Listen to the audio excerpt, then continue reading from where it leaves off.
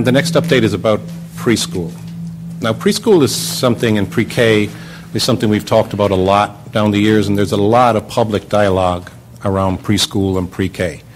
And, you know, in my judgment, it's not um, a rich or quality dialogue, and it's not very helpful as we look to establish pre-K programs as defined within a K-12 school district.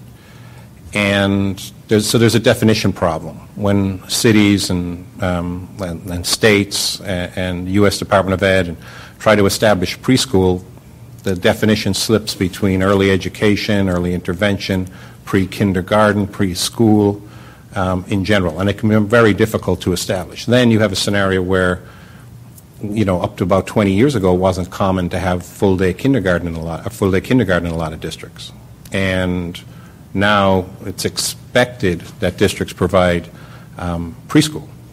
So a big effort in the district over the past year has been to develop a rational, what I would call a rational model of preschool. And I think we're there finally. Because if you think about how it evolved, it evolved with a, a growth of a Title I grant here, a special education grant there, uh, a joint partnership with, let's say, Head Start over here, and then across a spread of buildings, and then early intervention mandates from the state where um, students, by virtue of their assessments and IEPs, would push in. A very irrational model. That's what we've been dealing with for the past few years. And despite the f- real crux of the problem was, despite investing a lot of dollars and despite posting a lot of good numbers, we really weren't seeing um, the impact.